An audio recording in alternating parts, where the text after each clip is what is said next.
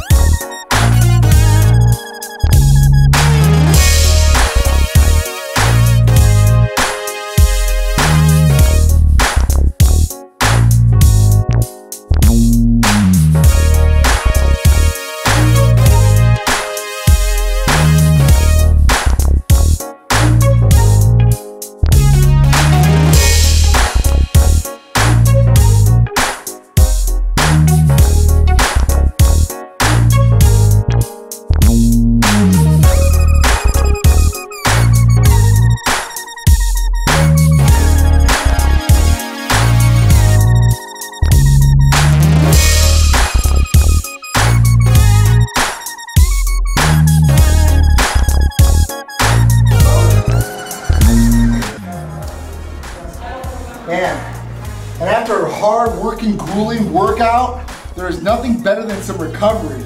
And these beds are definitely top notch.